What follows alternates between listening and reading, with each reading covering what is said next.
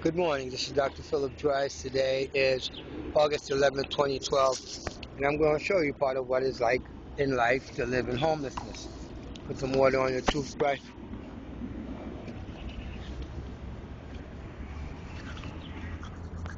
And you learn how to live in homelessness. Everybody's out.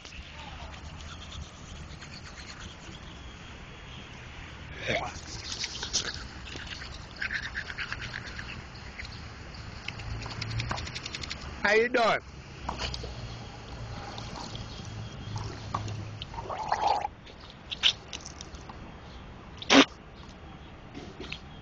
How you doing? Huh?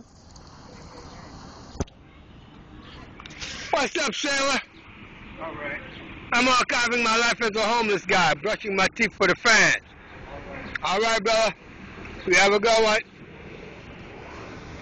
That's a recycling engineer right there. So how you doing? What is the cost-benefit analysis of having put me out wrongfully? I'm Mayor Bloomberg. Come on now. Come on, buddy. You're the one who had the guts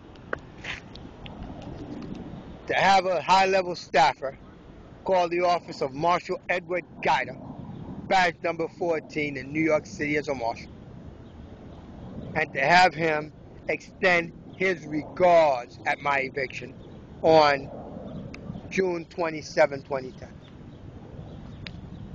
Hey, how you doing? Branded with the French Haitian aristocracy brand of 1223 1956. Where I come from, you get you a little monkey, a slave, or a pet. They put the little prince's birth date on it to make him feel that it's his. Bye bye.